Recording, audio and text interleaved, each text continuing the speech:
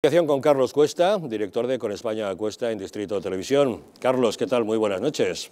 Muy buenas, ¿cómo estáis? ¿Qué te parece que quienes pactan con el radicalismo más extremo acusen de involución al Partido Popular si pacta con Vox? Mira, fíjate, yo incluso lo separaría. Vamos a ver, a mí esta gente puede decir misa, y perdón por la expresión, es que me da olímpicamente lo mismo lo que digan.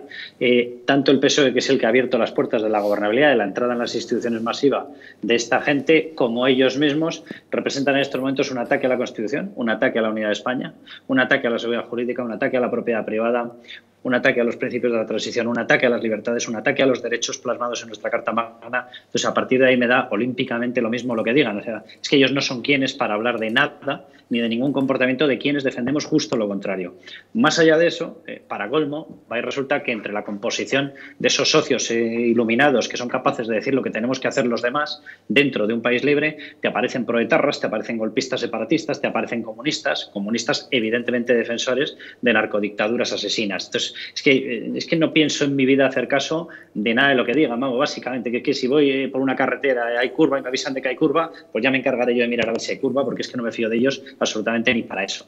Ahora, dicho eso, en el otro polo está eh, precisamente qué es lo que tiene que hacer. Y yo creo que Isabel Díaz Ayuso eh, ha marcado clarísimamente cuál es la forma de pensar que tiene que tener en estos momentos la derecha. La derecha no tiene que pedir permiso a nadie para pensar en clave de derecha. Nunca, en ningún momento. O sea, por definición, ¿qué es lo que quiere la izquierda de la derecha? Bueno, básicamente que nos evaporemos, ¿no? Entonces, ¿le vamos a hacer caso? a quienes están diciendo no hagáis esto, no pactéis con un partido conservador, menos conservador, más liberal, menos liberal, pero ¿quiénes son ellos para decir lo que nosotros libremente tenemos que hacer? Punto uno. Punto dos, a partir de ese momento miremos qué es lo que quiere la población.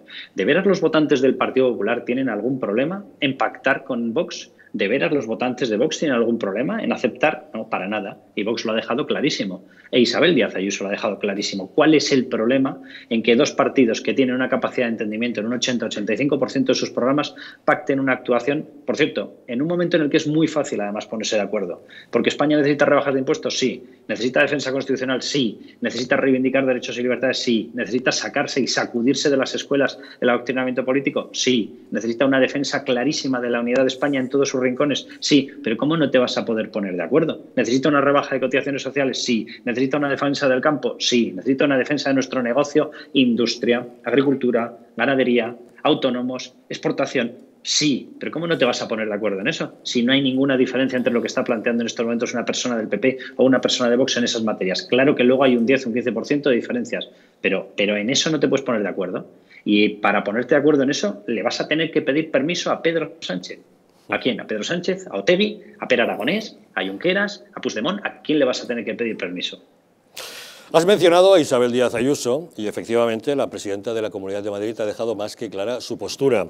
Ha dicho esta mañana que no hay que dar pábulo a lo que la izquierda opina sobre sus pactos. La escuchamos. Espero que pronto haya un gobierno basado en la suma de intereses frente a este proyecto totalitario que está destrozando España. Que sepamos buscar con otros partidos lo que nos une y, sobre todo, blindar a Castilla y León de políticas identitarias, pobreza y desesperanza. Y que no nos importe lo que opine la izquierda sobre nuestros pactos. Y estas palabras de Díaz Ayuso han sido aplaudidas por Santiago Abascal, que se ha preguntado ¿a quién está mirando el PP para hacer sus pactos? Así lo decía. Bueno, yo eh, no puedo estar más de acuerdo con estas palabras. Me parecen muy certeras porque en realidad el Partido Popular, cuando va a decidir sus pactos en Castilla y León en estos momentos, la Dirección Nacional del Partido Popular, ¿a quién está mirando?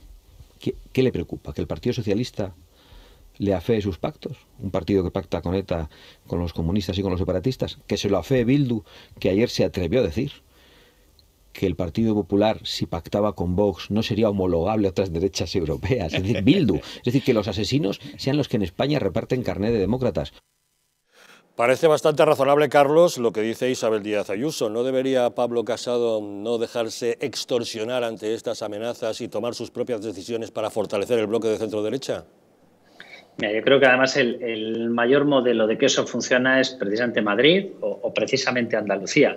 Yo quiero recordar que esto de que entren o no entren eh, están soportando no solamente tu gobierno, con sus votos, sino también incluso la actividad legislativa a lo largo de toda la vida política eh, de esos gobiernos lo está respaldando Vox. Vox está respaldando la gobernabilidad en Andalucía del Partido Popular. Es muy distinto a que entren en un gobierno. ¿Por qué?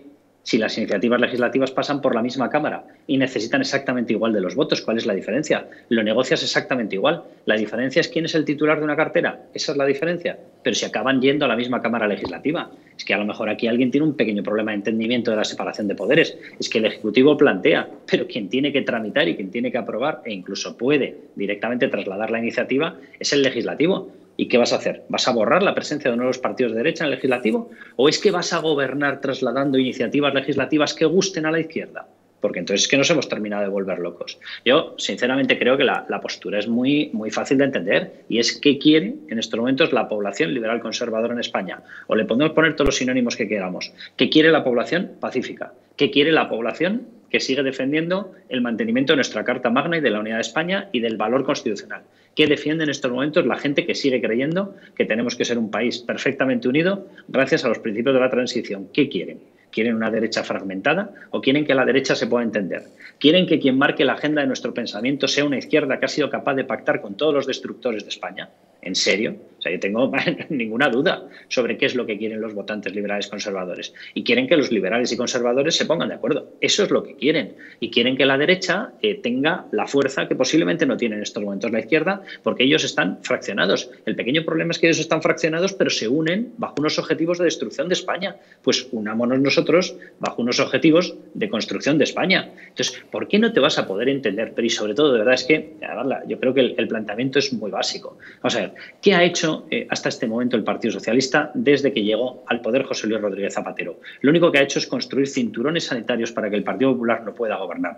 El último invento de ellos que es la barbaridad esta, la, demostración de imbecilidad de decir que es que una persona de, de, Vox es un fascista. Miren, simplemente por respeto a lo que fueron las víctimas en aquella época del fascismo y del nazismo, dejen de decir aberraciones. Simplemente por respeto a lo que hicieron esos dos regímenes asesinos, ¿vale?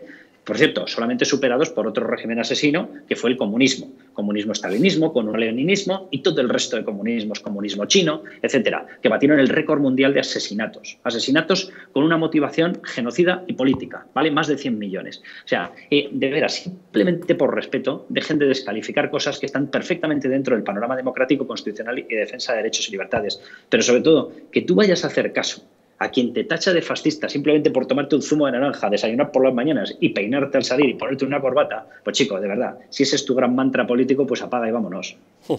Pues veremos cómo termina todo este sainete. Carlos Cuesta, muchas gracias por habernos acompañado en Los Intocables. Un abrazo, un abrazo fuerte. Un abrazo, hasta luego. Bueno, ya saben ustedes